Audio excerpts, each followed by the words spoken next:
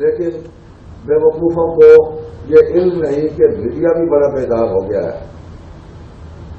یہ ایک ہفتے کی جنگ ہوئی ہے، ایک ہفتے کی۔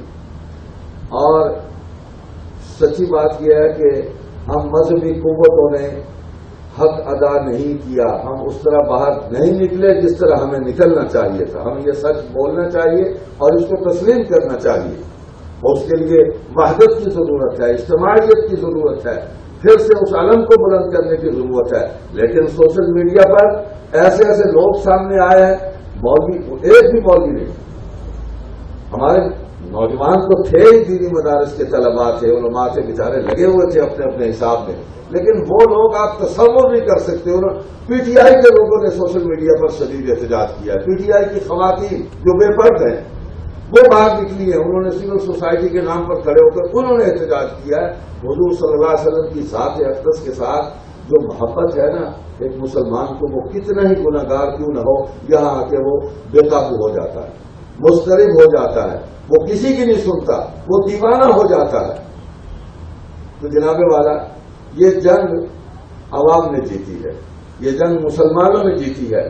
پاکستان نے ہمارے اس معاشرے میں بسنے والے ان نوجوانوں نے، ان بوڑھوں نے، ان بچوں نے، چھوٹے چھوٹے بچوں نے میسیجز چلائے ہیں اور فیس بک پر اور سوشل میڈیا کے تمام ذرائع پر انہوں نے اتنی قوت کے ساتھ اس آواز کو بلند کیا ہے کہ وہ اینکر کہ جو ختم نبوت کے مسئلے کو بیان کرنے سے ہچکچاتی تھی یا ہچکچاتے تھے، دونوں اسناف موجود ہیں نا۔ تو وہ مسٹر فواد چودھری جو ہسٹوریکل راج کا پاگل پرندہ ہے، پتہ نہیں کہاں سے اڑ کے آ گیا ہے۔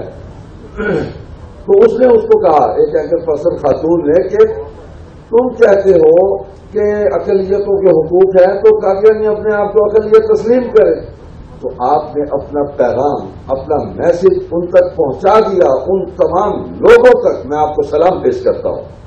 آپ نے جنگ لڑی ہے، آپ نے جنگ جیتی ہے۔ ویڈیو کے نیچے سبسکرائب کے بٹن پہ کلک کریں، بیل کے آئیکن پہ کلک کیجیے تاکہ ہر نئی ویڈیو کی نوٹیفیکیشن آپ کو مل جائے۔